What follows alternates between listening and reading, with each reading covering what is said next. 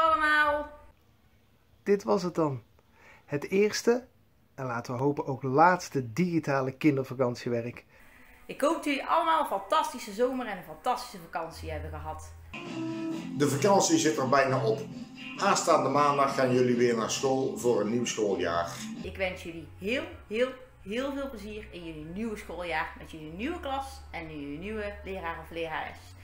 Want volgend jaar zien we natuurlijk gewoon graag terug in levende lijven op basisschool Klein Hasselt voor het echt kindervakantiewerk. En dat gaat een superleuk jaar worden met een geweldig thema.